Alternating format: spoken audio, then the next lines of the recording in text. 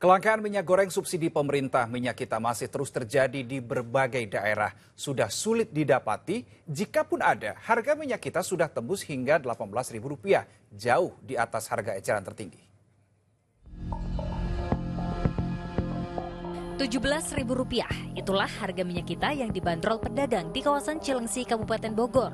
Padahal di kemasan tertera jelas harga eceran tertingginya hanya Rp14.000 per liter.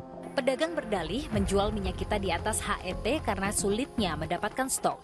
Belum lagi omset pedagang turun karena sepinya pembeli. Ini sejak kapan sih Bu? Se- sejak itu pemerintah menaikkan head, Head ya? harga minyak.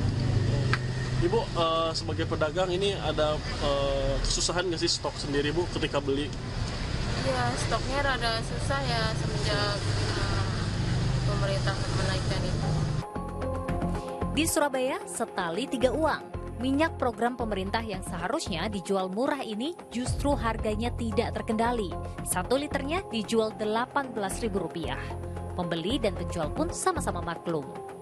Sekarang orang-orang itu sudah banyak tahu harganya segitu meskipun labelnya 14 tapi ini kan sudah diterangkan eh, apa pulaannya lebih dari 14 Itu mahal nggak sih mas? Enggak, ini terjangkau. Terjangkau ya? Iya. Sehari-hari pakainya minyak Iya, selalu pakai minyak kita. Meski di beberapa toko di Surabaya harga minyak kita mengalami kenaikan, sejauh ini belum terjadi kelangkaan. Tim Liputan CTV melaporkan.